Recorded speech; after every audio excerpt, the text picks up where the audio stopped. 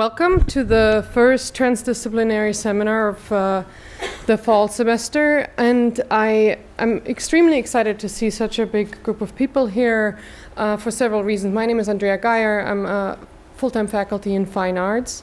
And this is our first official um, like course-long collaboration with um, the Vera List Center for Art and Politics and Carin Kuoni, who's going to co-teach this seminar with me. And I want to welcome Carin and thank her for being available for that. And do you want to address anything or, or add? Well, just very briefly, I mean, also express my delight at working with Parsons and the MFA program and Andrea Geyer in particular. Um, the Vera List Center, just as a very brief introduction, was founded about 20 years ago, is situated at another division at the new school, and makes, um, makes it as its task to identify pressing issues in society and then bring people together to talk about these issues from different perspectives. Um, we you know, look at uh, political issues, human rights issues, all uh, different um, ideas, and of course, science comes up very, very often. So while the speakers in our panels, and usually is panel discussions, um, uh, consist of artists and performing and visual artists, we also very often have historians or um, sociologists or scientists or policymakers, and to um, institute this um, cross-disciplinary uh, discussion in a more formal way, such as this class allows uh, to, uh, for us to do, is really, really exciting for us. And briefly, um, the other important point about this is that it is a merger of what the Vera List Center does, which is address um, the general public with ideas that happen here at the New School and in other um, institutions of learning.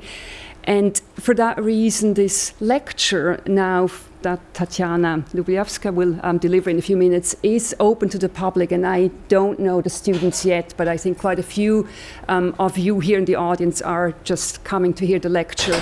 We will then break for a few minutes. Yeah, I mean, the structure of the seminar, it's about an yes. hour, it's about an hour lecture.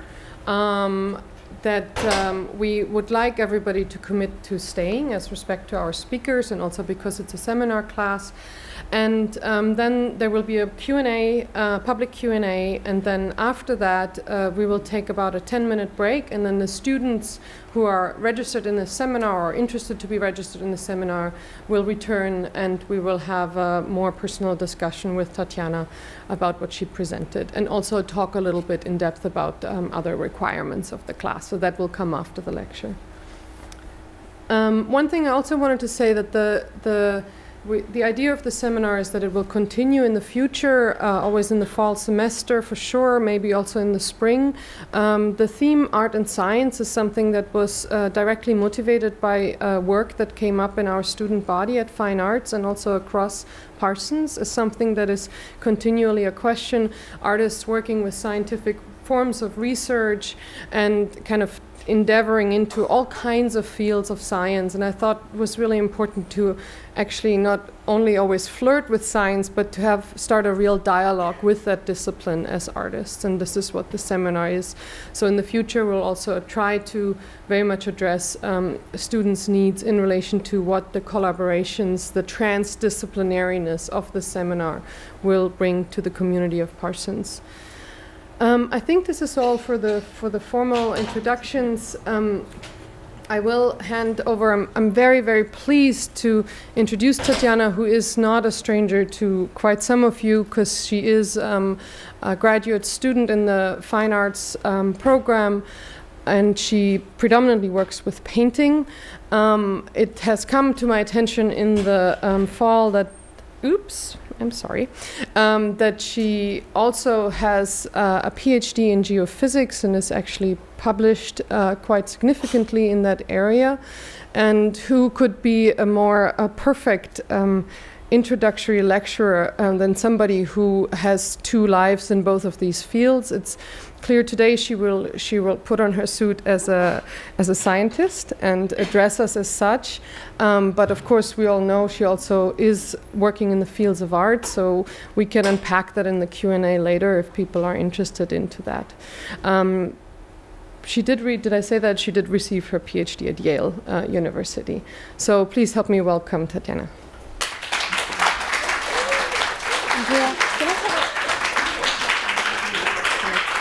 What? With a, with a clock so that I keep track of time. Oh, I will. Um, you Thanks. need. Okay.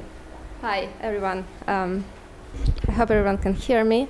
Uh, thanks very much for coming, especially those of you who are not in the class. Thanks to Andre and Carin for inviting me. It's a pleasure to be here and to talk to the audience, to this audience of non-scientists. It's, it's really exciting. Uh, the title of my talk is uh, Principles of Scientific Research with uh, case studies in geophysics and geochemistry. And I would like to start first with a um, short discussion on uh, what are the key elements or key aspects of empirical sciences. Empirical sciences are biology, chemistry, physics, all those sciences that uh, try to make a picture of the world outside, around us, and um, deal with empirical data. So that, of course, excludes uh, mathematics or social sciences or political sciences. So I'm going to talk uh, only about empirical sciences here in this talk. Uh, empirical sciences are system of theories about nature. Those theories are partly derived from data and are generally consistent with data. And uh, I'm saying here that they are partly derived from data because there is still, uh, to this moment, there is still a considerable debate in general philosophy and philosophy of science about whether it is possible in general um, logically to construct a theory based solely on empirical data. So many people believe that it's not possible, that uh, there is always an element of deduction in the construction of theories. But any theories uh, are constructed so that they are generally consistent with the data. And I'm saying here generally because there are always inconsistencies, and I'm going to talk about it in more details later.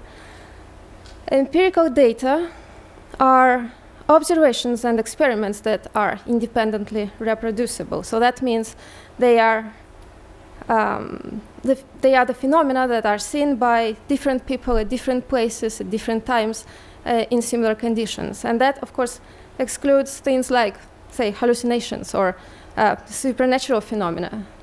Um, those phenomena are outside of the scope of sciences, or empirical sciences at least. And the general directions of direction of scientific research is uh, towards maximizing the conformity of the theories to the empirical data. And uh, my next slide, this cartoon from Thomas Kuhn essay from late 70s, slightly changed. Um, I hope you'll help me to explain what I mean here. So you have, uh, here we have in the left part of the picture on top, the green box is a theory, and the yellow box at the bottom is experiment. Um, each scientific research or each project usually starts with formulating a theory. And um, from that theory, based uh, through certain manipulation, uh, usually logic or math, we make certain predictions about the world, about um, observable phenomena. And those predictions are usually quantified, and the predictions then can be compared with uh, measurements or results of experiment. Um, and there is always a misfit between theory and between th uh, theoretical prediction and experiment. And there are many causes for this misfit. On the one hand, if we are looking at the data, there is always a limited precision to any kind of measurements whatsoever. So even if we are if we are measuring something with a ruler, the uncertainty of our, of our measurements would be perhaps uh, uh, one sixteenth of an inch. If we are using a microscope, there is also a limited un uncertainty to our measurements.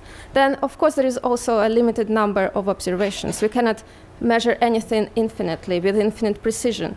So that brings um, the uncertainty to our data. And of course, there is always a there are always limits to our technology and to the uh, tools and apparatuses that we use in the laboratory.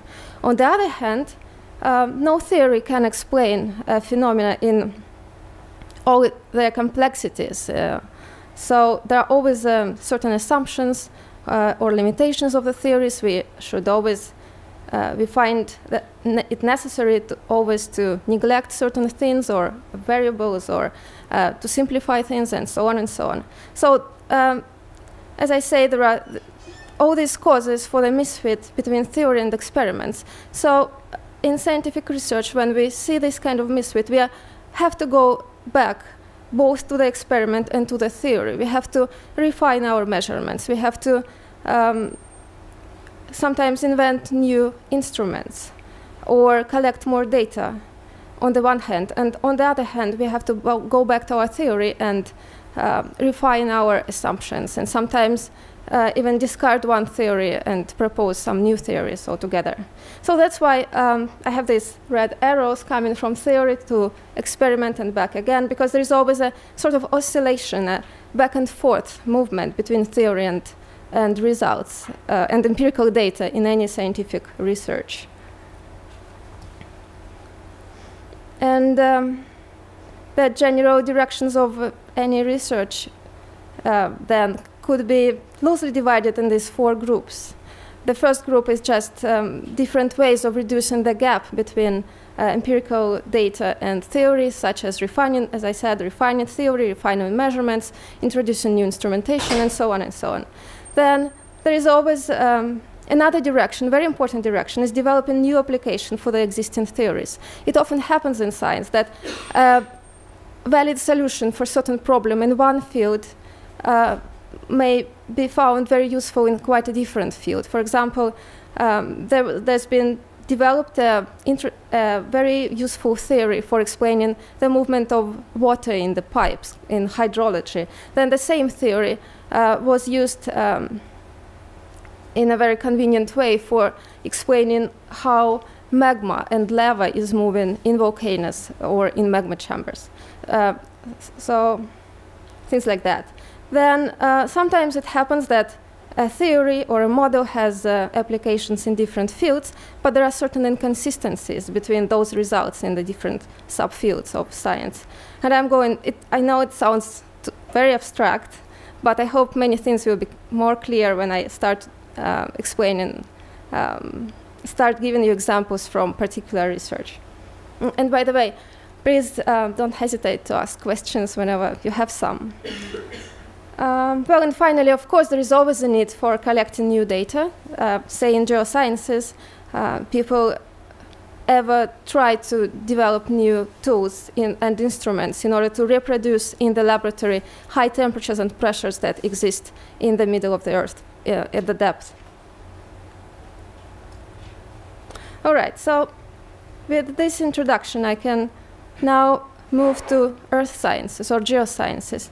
And before I start talking about particular examples uh, of projects in which I was a participant, I first have to give you an overview of a theory. As I said, empirical sciences are sets of theories.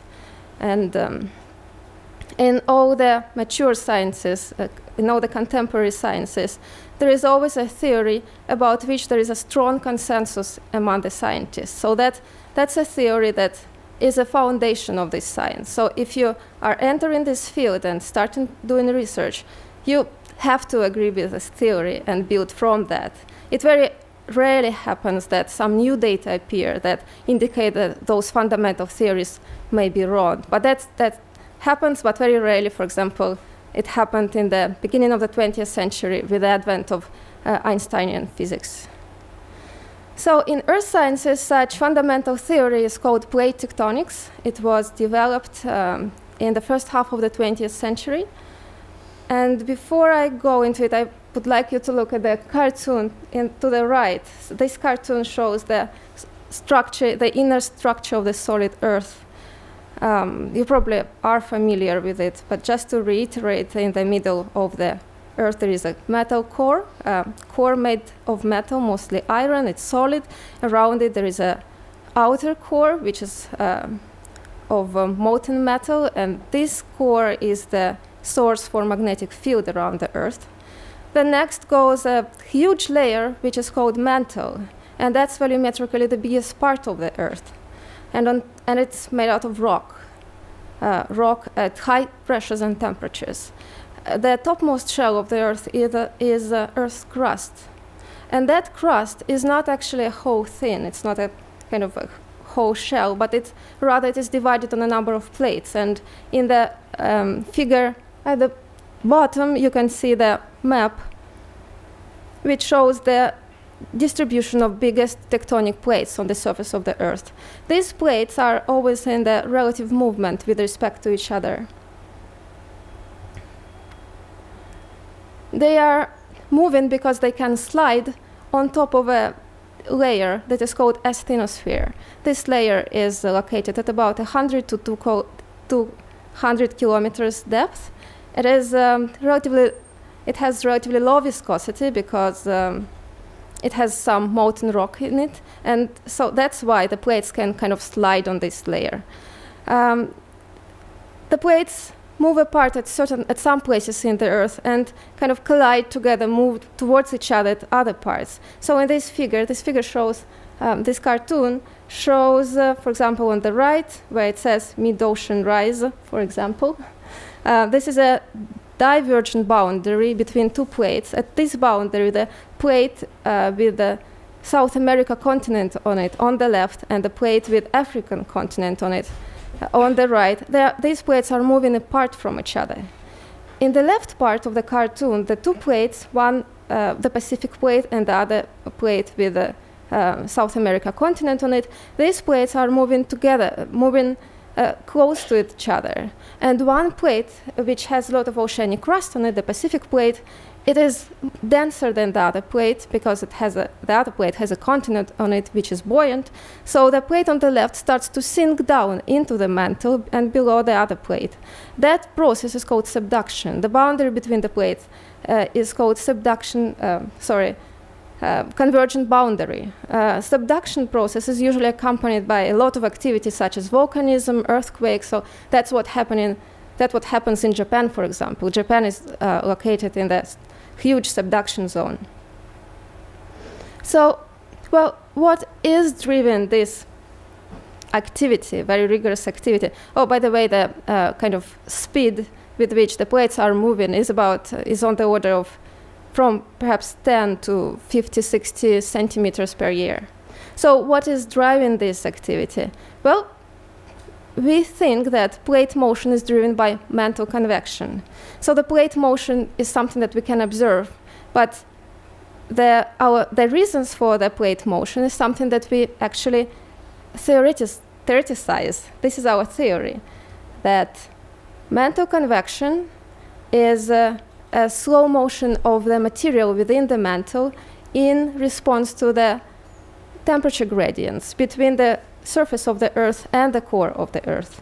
And this is this movement of material is something that you happen that you have, for example, uh, in a kettle that is about to boil.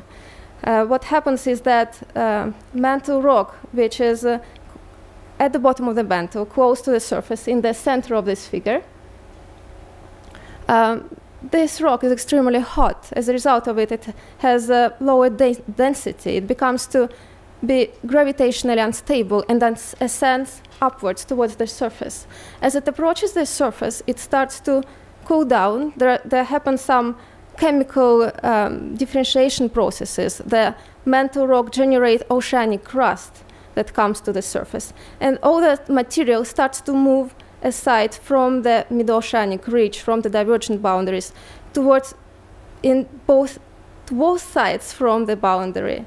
And as it moves further and further away, that material starts to cool down, becomes heavier and heavier. And when the plate, that material approaches the, the other, the convergent boundary, for example, on the left and right of the figure, uh, all that material starts to sink back again within the mantle. That, that concludes the convection cell.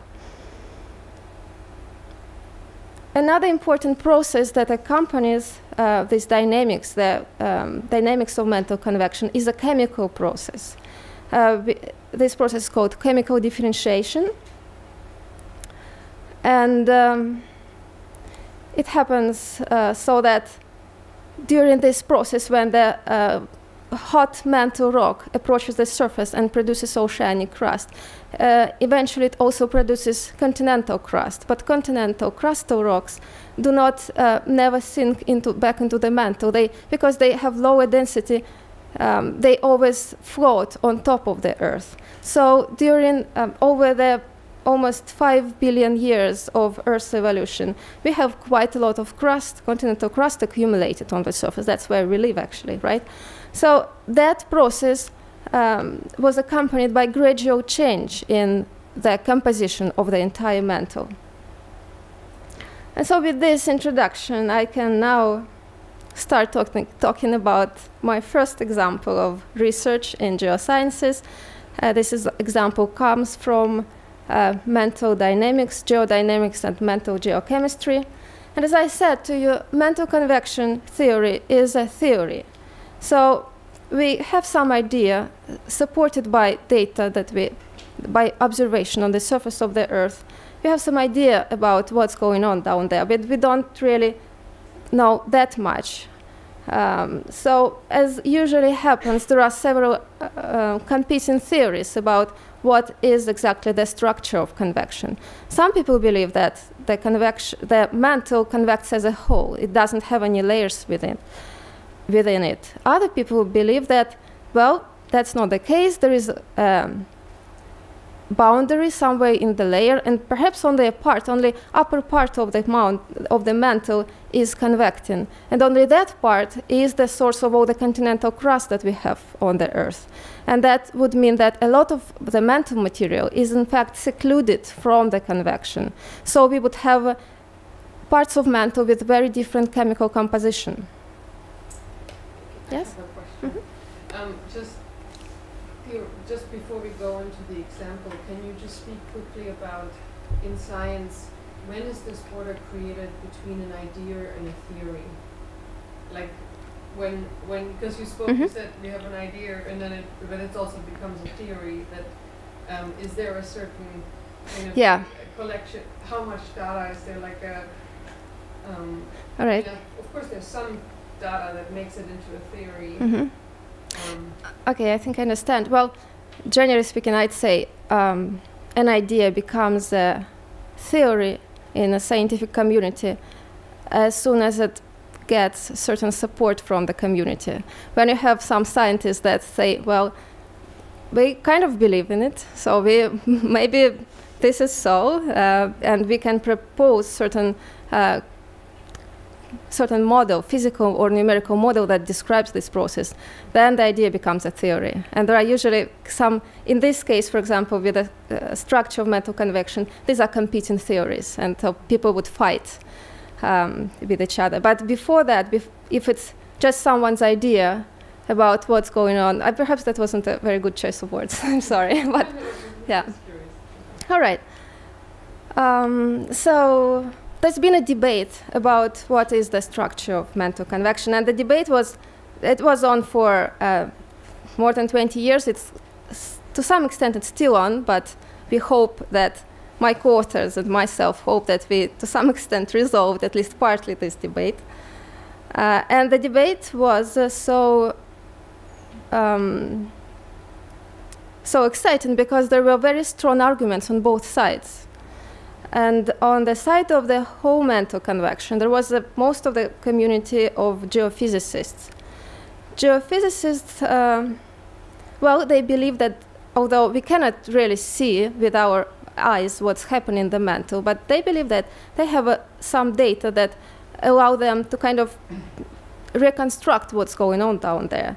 Uh, they have seismic imaging techniques. Seismic waves are acoustic waves that are uh, produced by, for example, large earthquakes. Those waves travel through the entire Earth, and scientists, geophysicists can, they have tools uh, that help them to record those data and interpret it, th those data so that they can uh, decipher what kind of obstacles those waves encountered during their trip through the Earth. So this is one of the models, uh, geophysical models of mantle based on seismic imaging. And it shows with red color, well, the box is basically the thickness, the entire thickness of the mantle. I think um, this shot is uh, under the Pacific plate. Uh, the red stuff here is uh, the mantle rock with relatively high temperatures. So in terms of mantle convection, that would be mantle material that ascends towards the surface because it's hot. The blue stuff is a material with relatively low temperature, so that would be kind of subducting, uh, cold subducting material. So from this kind of models, we see that, well, there is no really discontinuity within the mantle. We see that uh, the ascending rock goes from the bottom towards the surface, and the uh, descending rock goes towards the bottom. So that should mean that, well, the mantle should convect as a whole.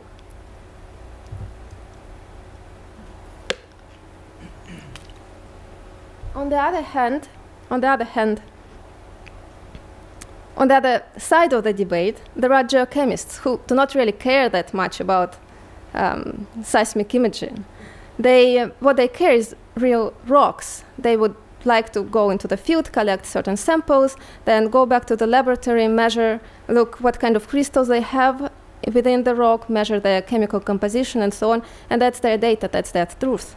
And they uh, realize that of course, although we do not really have that many samples of uh, real mantle, but we have some mantle-derived rocks at certain parts of the Earth. On the one hand, there are those mid-ocean ridges, the divergent boundaries that I was telling you about. Uh, because we have that mantle material that is coming from depth towards the surface, the rocks in mid-oceanic ridges are mantle derived. So we can, from their composition, we can guess what should be the composition of the source mantle. On the other, the other hand, we have uh, oceanic islands, and those are very interesting constructions. Oceanic islands, for example, Hawaii, um, they are in fact huge volcanoes with very, very deep roots underneath them. And we know that those volcanoes sample mantle and usually from great depth. Uh, so from compositions of the rocks from those islands, we can also guess, uh, we can also construct the chemical composition of the source mantle.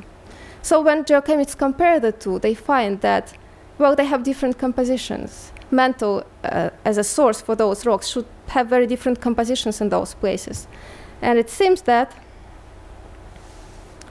that oceanic island rocks uh, come from primitive mantle. They have a more enriched composition. So in this cartoon, that what is when where it says OIB, these are oceanic island rocks, and kind of it shows the volcano that taps into the primitive mantle. And uh, mid-oceanic ridges, uh, they sample rocks from the depleted mantle, from the convecting mantle that was depleted through the process of uh, the generation of continental crust. So this is the first strong argument for layered convection. Then they, that's not it. They have another argument for layered convection. And um, that argument is actually a number of calculations, which are called global mass balance. Um, in this cartoon, I, this is just a conceptual kind of diagram that show you the relationship between primitive mantle, the convecting or present-day mantle, and continental crust. So as I said before, um, we believe that the mantle that we had at the perhaps four, about 4 billion years ago, before all the continental crust appeared, that mantle had relatively enriched composition in many elements. Then all mantle or part of the mantle that started to convect uh, produced continental crust. Chemically, this process fractionates many elements so that some elements, for example, uranium, thorium, uh, some other elements, they pref preferentially enter continental crust. So the convecting mantle is very much depleted in those elements.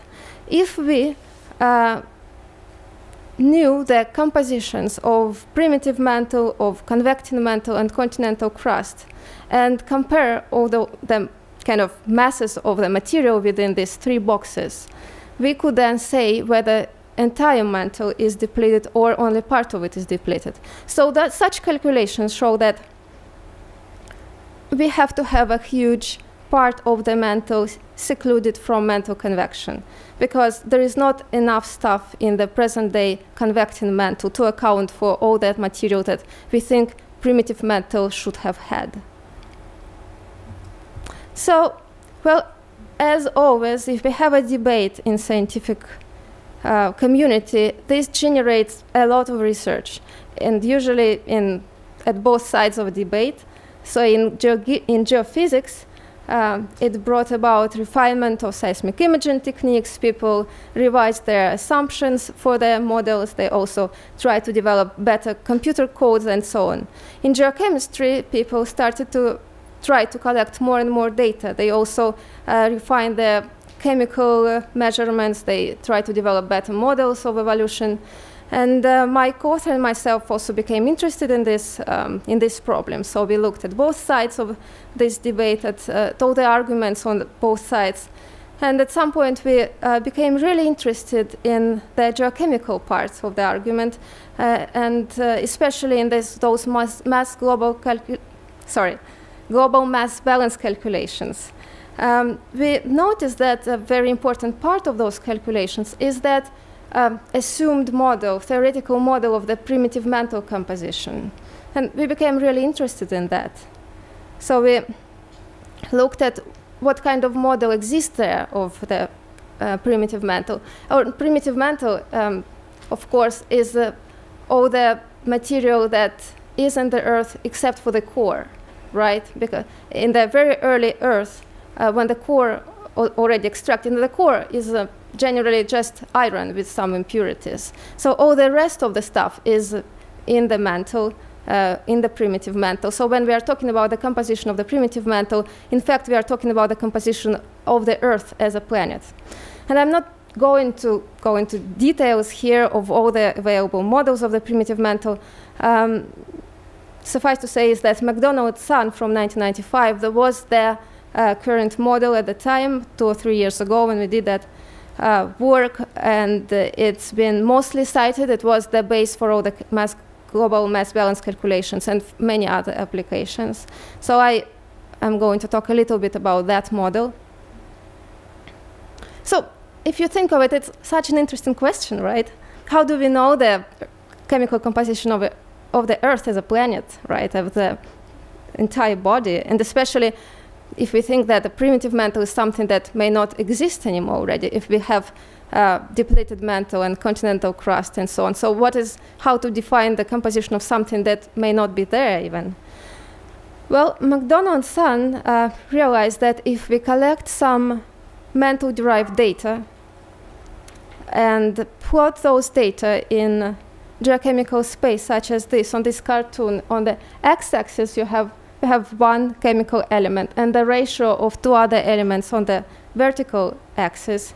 So if we plot those data on, in this kind of space, despite the scatter, you can see certain trends, right? Certain trends within the data that can be fitted, loosely fitted to a regression, to a line. Those trends, McDonough and Sun believed, um, are the results of those processes of chemical differentiation of the primitive material. So it seems that the primitive mantle composition should be here somewhere in this plot, uh, and moreover on this melting trend.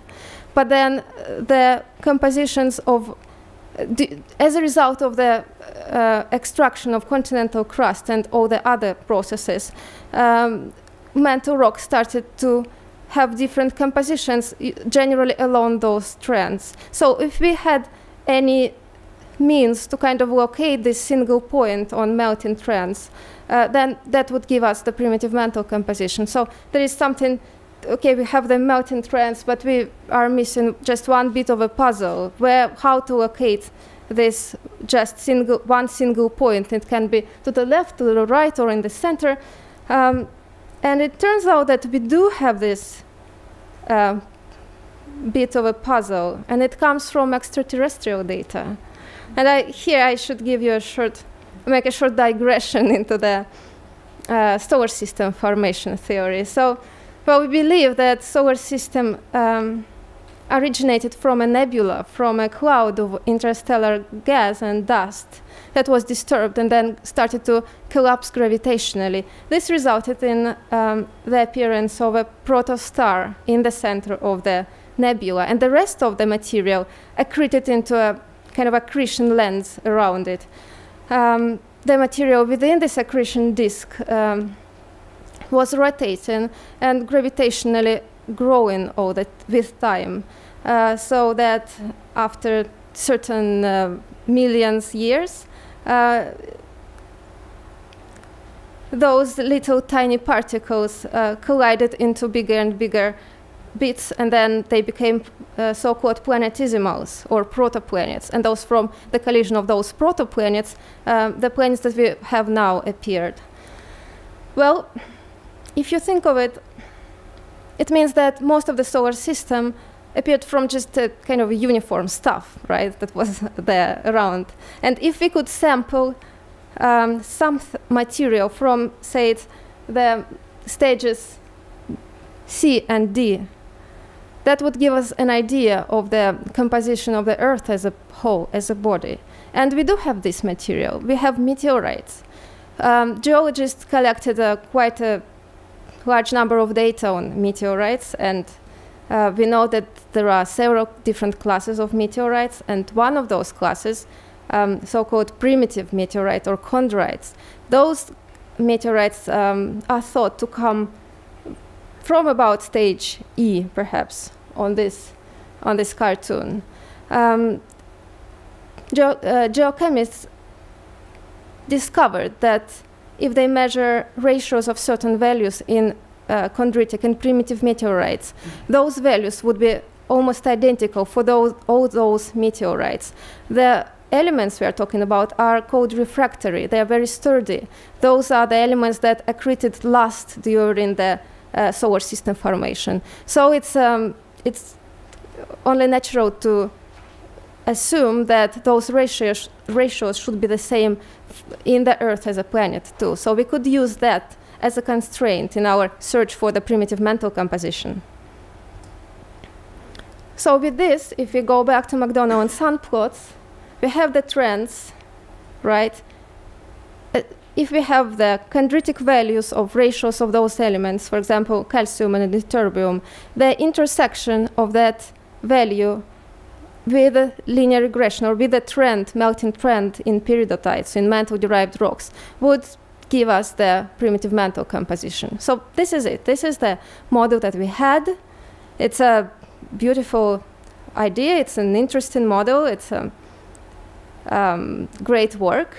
But because we have a debate, we have to go back to all the models and just think over everything and see whether um, anything can be done just a little bit better, whether maybe just something could be um, changed so that we have a certain resolution of our problems, of our debate. And we did that. We um, looked again at their data. We looked at the way they dealt with this data. And we realized that, well, you see on these images, there is so much scatter. They try to fit a linear regression, this kind of, they, to, okay, ask me questions if it's not clear. But by linear regression, I mean just the line that approximates the direction in this data in a, uh, the best possible way. So you can see because there is a scatter in this data, this line can go a little bit further to the right or to the left. It's really hard to say where it goes, right? So that means that um, the primitive mantle composition for in, with such data is not quite certain then, right? Uh, well, what we did is that we decided not to look at all those elements one by one, but look at all that mass of data in multidimensional space for a number of elements. So we have 11 or 12 elements, and we looked at all the data simultaneously. And we found out, well, we used quite a number of different mathematical and statistical techniques. I'm not going to go into details here, but just um, to give you an idea, we realized we, we found doubt how to find a single variable in that multidimensional space of different chemical elements that approximates in a really well, nice way uh, all that data and the, mm, all the data in all those elements compositions. That uh, variable we called Q. It uh, is um, this variable sort of reflects the amount of melting of the primitive mantle. Um, then we imposed all our chondritic constraints. We also did um, use a really fancy uh, statistical method, which is called Monte Carlo bootstrap technique, in order to uh, determine a very, uh, in a very precise way the uncertainty of our estimates. And um, these are the results. Uh, so because we used these statistical methods, the results are in the form of probability functions. So the maximum of those functions um, give us the best estimates of the abundance of elements, of these elements in the mantle. And uh, from the comparison with the previous models, you see that for some elements, the estimates, the old um, estimates and our estimates are kind of similar, but for others, there is a there is a certain difference. So we were curious to see whether it would give uh, us um, any interesting results in terms of the uh, geochemical arguments for layered convection. Well, and it did. Um, in the top here on the left, you see again that same diagram. We have primitive mantle, convective mantle, or present-day mantle, and con continental crust. If the primitive mantle composition matches the sum of continental crust and uh, convecting mantle compositions, then the entire mantle convects. If it doesn't, then the variable here in the box PM minus CC over DM, that means primitive mantle minus continental crust over depleted mantle. If that variable is much bigger than one, then it means that we have a problem. We need to have a huge reservoir of stuff somewhere in the mantle. And the results, uh, the comparison of the results in the, for the older model and for our model is on the right here. On the horizontal axis, we have different chemical elements, such as radioactive elements, thorium, and uranium, and some other elements. The blue field is the results for all the model. You see so that for those elements like uranium, the variable for McDonough and Sun model is uh, uh, somewhere from perhaps 2.5 to 6. So it means that we have to have a lot of that stuff secluded somewhere in the mantle. For our model, within the uncertainty, and the uncertainty is large, but that's something that we have in our data, within the uncertainty, that variable is about one or slightly bigger than one for most of the elements. And if it's slightly bigger than one, that's not a problem from the uh, point of view of uh, mantle geodynamics because, well, we still might have some pockets of the primitive mantle uh, or some kind of blobs of enriched materials, um, which, for, which, by the way, sh should be sampled by oceanic islands, by those deep-rooted volcanoes. But we don't have to have the whole half of the mantle secluded from mantle convection. So this kind of um, resolves the, the um, inconsistency. We still can have a whole mantle convection from geophysical point of view because we have stuff coming from the bottom and sinking to the bottom. But from geochemical point of view, there should be there might still be stuff that is not quite well mixed in the mantle, but we don't have to have the layering. We don't have to have two um, to separated reservoir within the reservoirs within the mantle. So that was our exciting uh, result. We also it also had some other applications, which I'm not going to talk about today. And if we have more time, I can move to the second example. It's uh, okay, cool.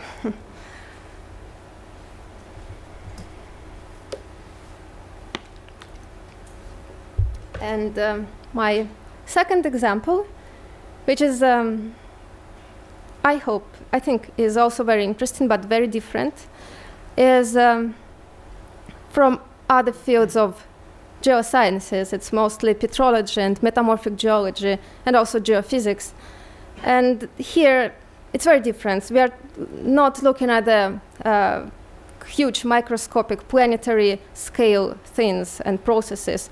We are looking at, looking at relatively um, local um, processes such as mountain formation. And uh, in geological terms, mountain systems are called collisional orogenies. They are believed to happen as a result of uh, the collision of different tectonic plates, of two tectonic plates. So, for example, on the top, uh, the top part of the cartoon, you see the subduction zone. You see how two plates collide with each other. One plate with the oceanic crust on it sinks into the mantle below the other plate.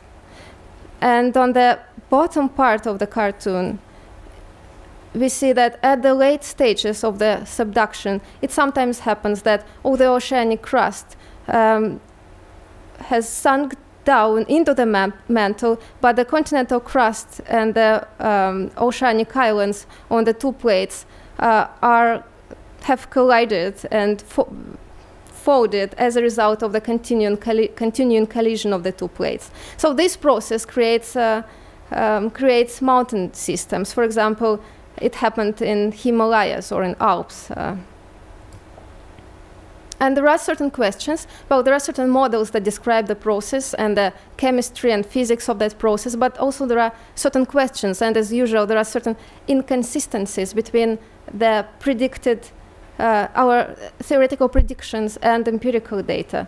So, for example, uh, based on theory, we, believe that fluid, and fluid is basically that's water, um, all the, most of the rocks within the uh, continental crust contain uh, pretty large amounts of fluid that is moving through those rocks, uh, and that's water and CO2. Um, so, based on theoretical considerations, we believe that that water should move mostly towards the surface in the direction of decrease in temperature. On the other hand, if when we look at the empirical data at petrology of certain uh, rocks, we see that we see indications that fluid flow in those rocks went into the direction of increasing temperature. So that's one problem. Then the other problem is that, well, it turns out to be really hard to theoretically model the high temperatures that are observed in the mountain chain rocks. So in this cartoon, um, this plot rather, uh, on horizontal axis is temperature, on vertical axis is depth, and the pink shape shows the kind of the range of data, range of empirical data from different geological localities. It shows the pressures and temperatures that are observed within the rocks in those, uh, in those places. And the blue arrows show the modeled, the predicted pressures and temperatures uh, based on our numerical models of uh, um, orogeny of collisions? Well, there is quite a uh, difference between the, the two kinds of data. So this is another problem that motivates the research. So what we did is we constructed uh, two-dimensional numerical models that approximated the physical and chemical evolution of uh, mountain chains after the collision and um, on top, the, the cartoon on top shows the geometry of our model. And the kind of dark green wedge uh, is our mountain system. So if you have a difficulty seeing a mountain, uh, mountain chain there, so I, I have this cartoon. But, well, the thing is that our numerical models can, at least at this point, can never reproduce or have difficulties at least reproducing the real life topography of mountains. So what we have to do is we have to assume that we have flat mountains that have um, that are at about, five kilometers elevation uh, from the surface of the Earth, and um, we have to specify a number of different variables such as temperature, such as the amount of radiogenic elements, and so on and so on. We have to specify the porosity, the number of the amount of space within the rocks through which the fluid would move. Um, the difference of our models from uh, compared to the previous one is that we also included metamorphic reactions. We included chemical reactions in our rocks that may produce or uh, um, either produce or kind of collect fluid from the surrounding rock um, within our model. And um, after having formulated, having set up the geometry of the model, we then have to go and write down the fundamental equations. So whenever we have um, a research in physics, we start with uh, writing the equations. That's kind of a fundamental theory. Um, you your ground base from which you have to build up everything else. So, um, as all, usually those equations are energy conservation, mass conservation, momentum conservation. They can be uh, formulated differently for different problems. Um, because those equations are very difficult to solve for uh, big models, we, we do not really attempt even to solve them uh, analytically. We have to solve them numerically uh, on such grid as shown on the right of this picture. So this is, these are solved just by brutal numerical force. And the results of such models are in the form of such maps, distributions of certain parameters in the space of our geological, uh, of our numerical model. So for example, on top, you see the thick solid lines show the isotherms, the distribution of temperature, and the tiny little arrows show the direction of the fluid flow in the rocks in our models. And uh, well, we found out that for some model parameters, we, our results are similar to the previous results. Uh, most of the fluid, as you can see from the arrows, move uh, towards the surface in the direction of decreasing, I'm sorry, decreasing temperature. But because our models also included metamorphic reactions, we found out some cases in which the fluid would go downwards um, from the surface into the depth as a result of those reactions. So that was exciting results because um, that's actually what we observe in the field and we couldn't explain it numerically before. As for the temperatures, well, um, as I said, in the field, we have indications of very high temperatures in the mountain rocks. For example, the map on the right is from Scotland. Um, those, the colors show different uh, mineralogical compositions of the rocks, of different rocks in that area. The kind of bluish, greenish colors are for the rocks with low temperatures, relatively low temperatures, and yellow, orange, and red show the rocks with uh, relatively high temperatures. The nice picture on the left is, in fact, link a link between our theory and observation. So in the field, what we observe is those different mineral compositions. Uh, for example, um, well, based on the mineral compositions, we then, with the help of the chart on the left, we can determine pressures and temperatures at those at which those rocks were uh, were generated. For example, the uh, large pink field on the top in the right-hand corner is a field of all the rocks that are made of garnet and biotite, just two minerals. And we know that those rocks should be produced at temperatures of about something more than 600 degrees and pressures of about uh, more than 1 GPa. So these kind of correspondences let us allow us to go from the observations in the field, from the real rock compositions, to the temperatures and pressures, which then can be uh, compared with our numerical predictions. So, well, what uh, do we have when we compare our predictions with data? Again, we have um, data on the right, the map from Scotland with different mineral compositions. And you can see that in the center of this zone, there is a huge bunch of um, kind of orange material. And that's and in the very center, you have kind of reddish stuff. And th those are all the rocks with a relatively high temperature, sometimes more than 600 degrees. On, the, our on our theoretical predictions, in the left, you don't see those fields. We couldn't reproduce them. So that, that was an initial problem with our models. As always, when we have these kind of problems, we, well, we reconsider our model. We see, well, maybe there was something that we didn't take into account. So we went, we made some literature search, looked at what other reasons for um, for the kind of missing heat in our models could be. And uh, there was quite a number of these but one of them was magmatism and associated fluid flow, magmatism basically. So we realized after looking again at the data, at our empirical data from Scotland, we realized that in this area and in many other mountain chains, there is quite a number, quite a large number of big magmatic intrusions. intrusions. And by the way, by magmatism, I mean uh, the intrusion of hot lava or hot molten rock from the mantle into the continental crust. That hot stuff brings with it a lot of heat, so it kind of heats up the continental crust.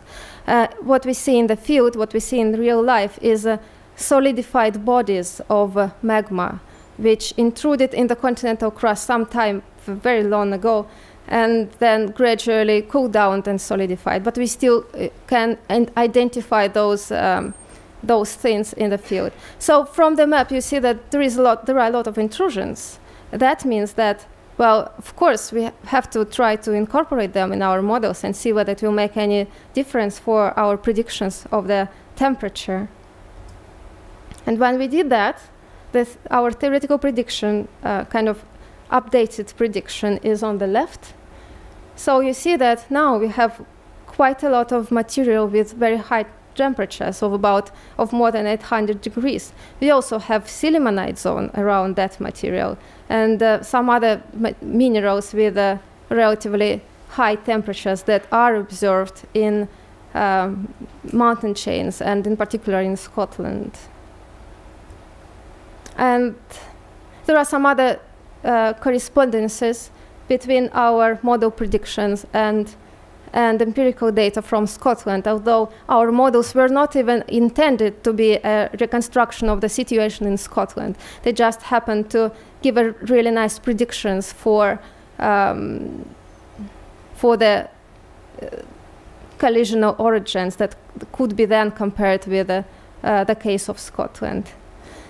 And uh, as a conclusion, I just want to show again this slide from the beginning of my lecture and uh, the relationship, this kind of constant oscillation between theory and empirical data that happens all the time in research when we strive to bring the two together by refining both the theory and our measurements and experiments. And this is it. Thank you.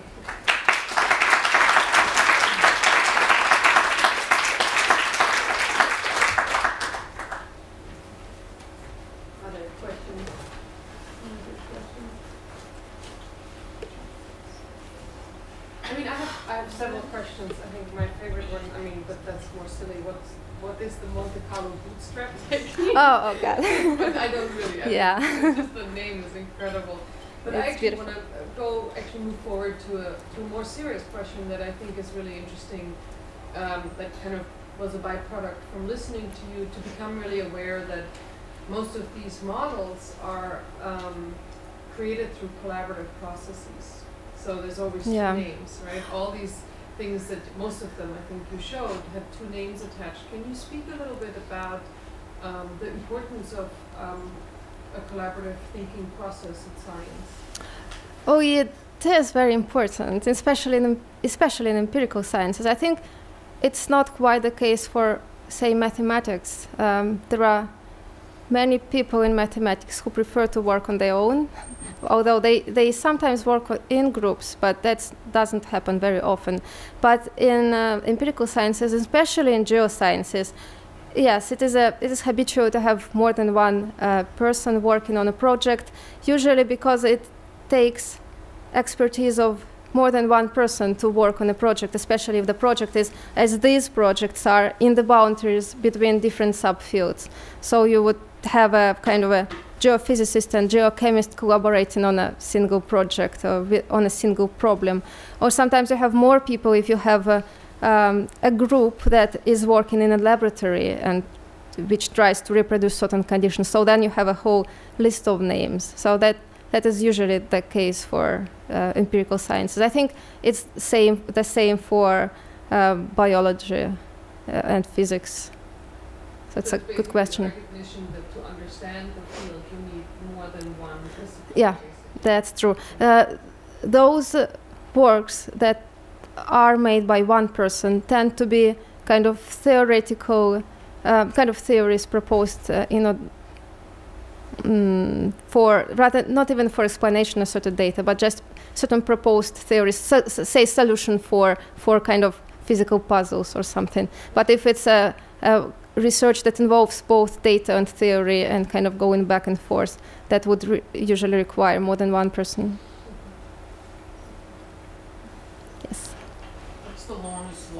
theory that's out there that they're waiting for the results to come in to match and they're either working with it with the assumption that it's going to be okay or they're questioning it, maybe it's not okay, but still fun?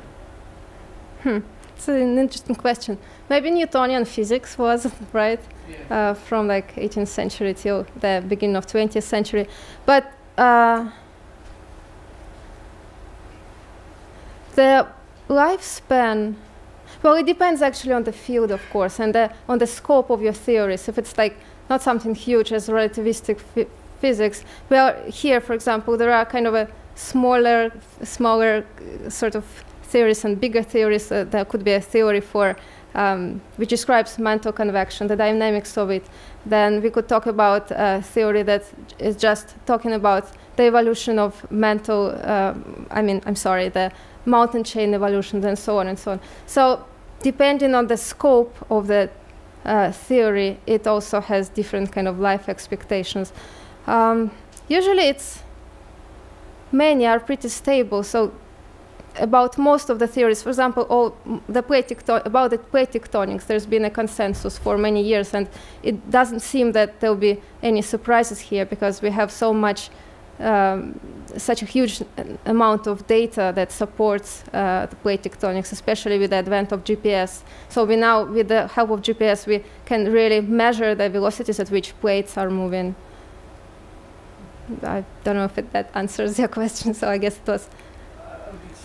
I would ex- I would suspect space, something to do with, we can't quite find out yet, but we have a pretty good idea. Something out there Oh, you mean? works the way it, it Uh, should work. Hmm. And then you get surprised with Saturn and things like that.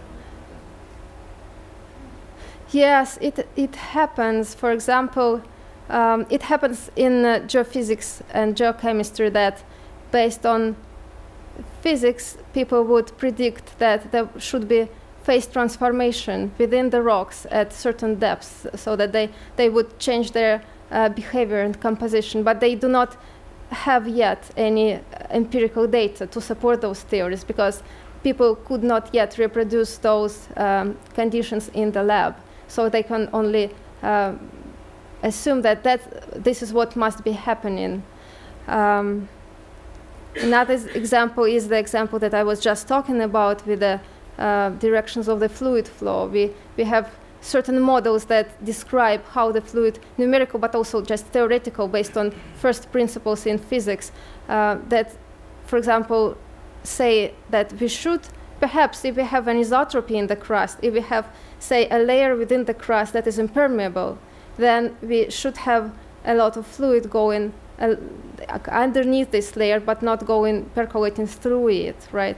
And sometimes uh, it's hard to find the support, kind of the situation in real life that um, shows you that this is happening, you know, in a concrete geological localities. So, yeah, it, it's often the case that we have idea, we have theories about what's going on, but we don't yet have data that supports them.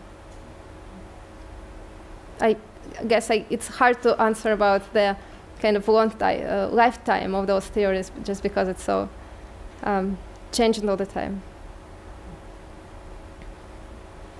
question about the nature of data.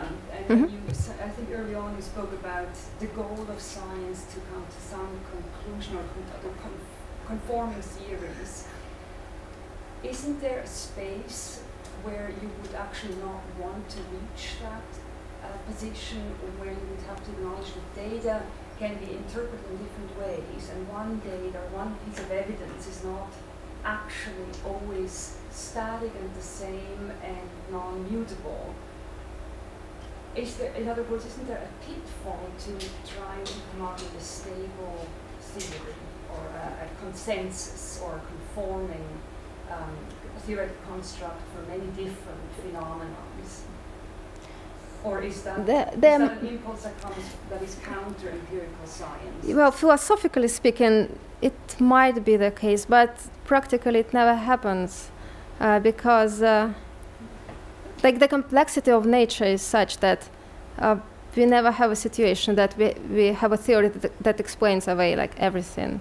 There are always there's always work uh, in order to uh, kind of uh, fit something to something. There is always even a theory that, that is working for a number of phenomena. Uh, there is always a kind of uh, a gray area where it's not clear what's going on, or whether maybe the theory is uh, is not quite what we um, it's not quite working, or maybe the data are not right, or maybe we don't have enough data.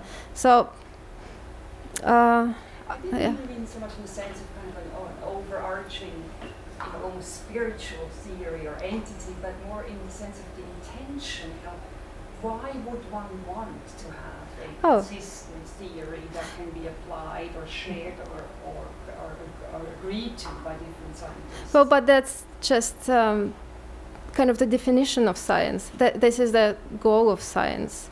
If it were not the case, if that was not the goal, that wouldn't be science anymore. Because the goal of science is uh, to try to explain the natural phenomena or to propose a theory that explains them.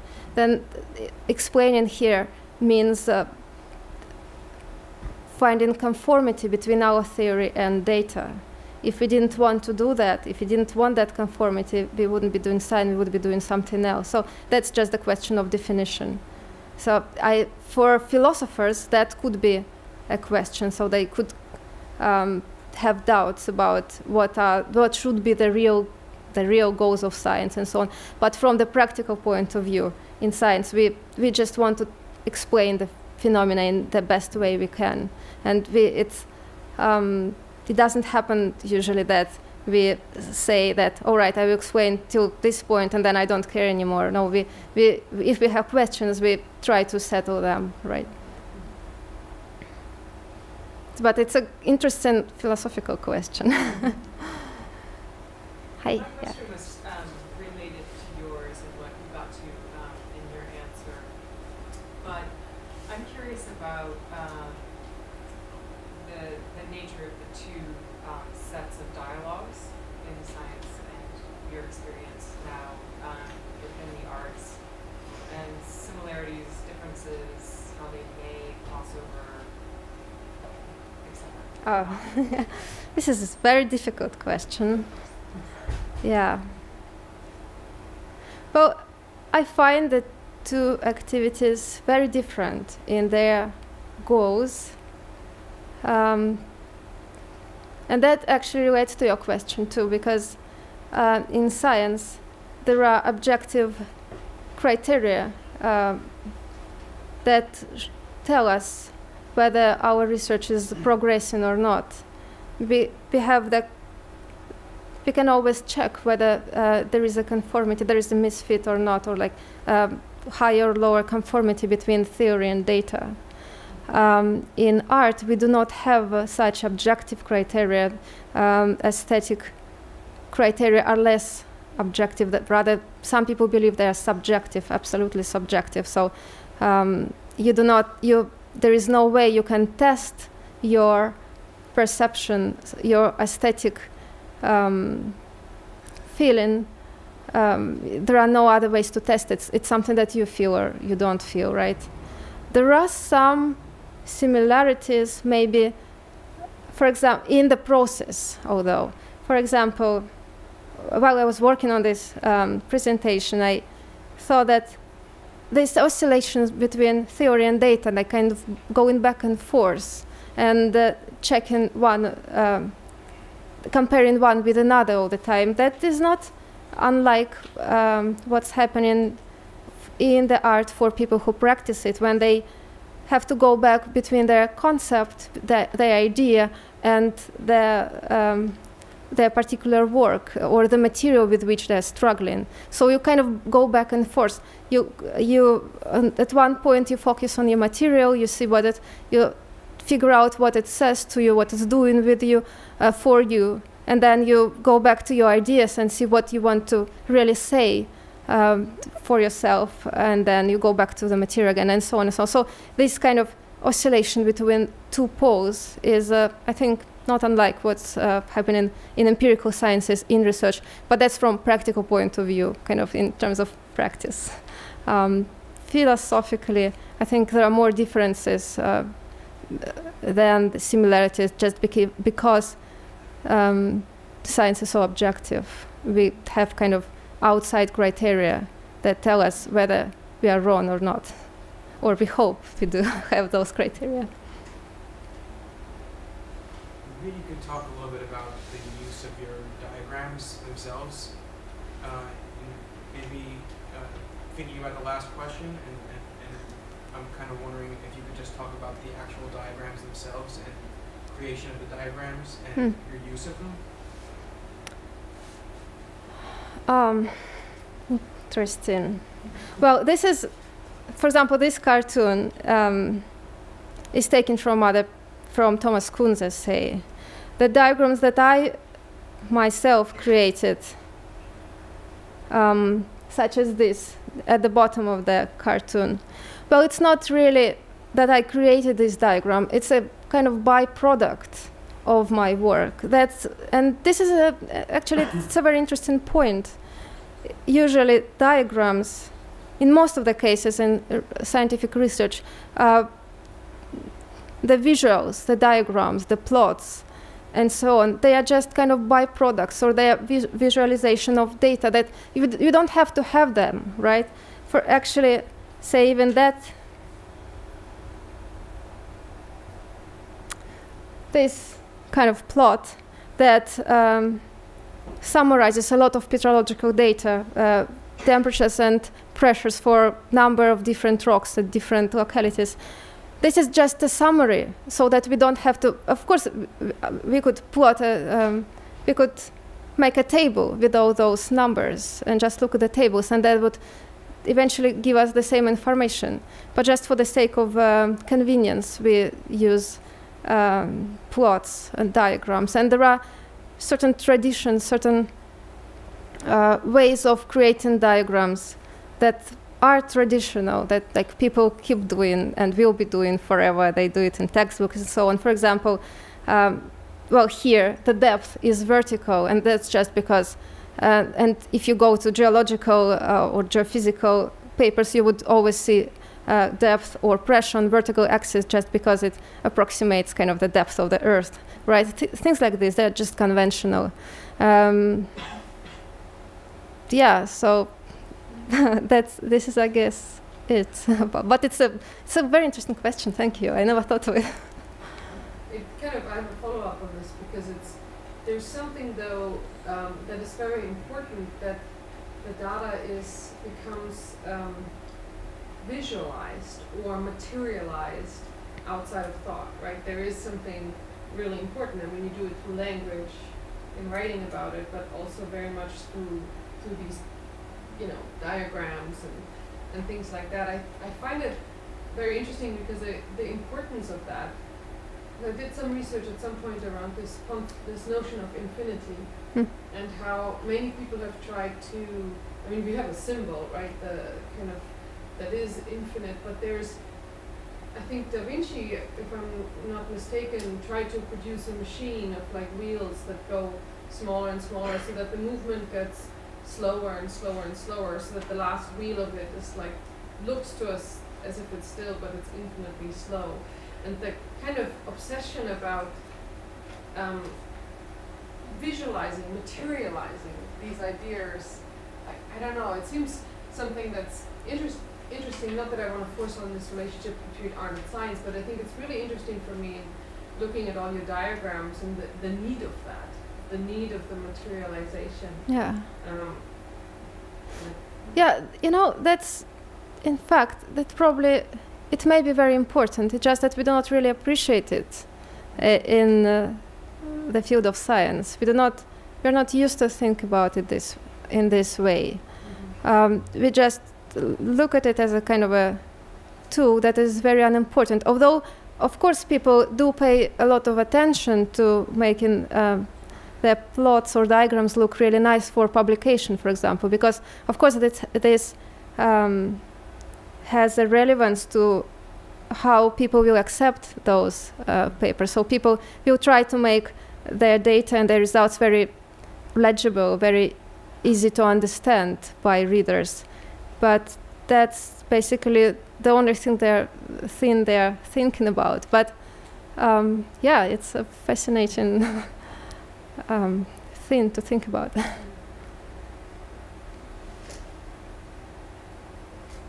more pressing questions? Then maybe we, we wrap it up here in the public part. Thank you. Thank you.